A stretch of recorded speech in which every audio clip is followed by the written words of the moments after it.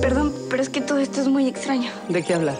Soñé que era muy chiquita y, había mucho humo y, y un incendio aquí en la mansión. No sé, pero era muy real.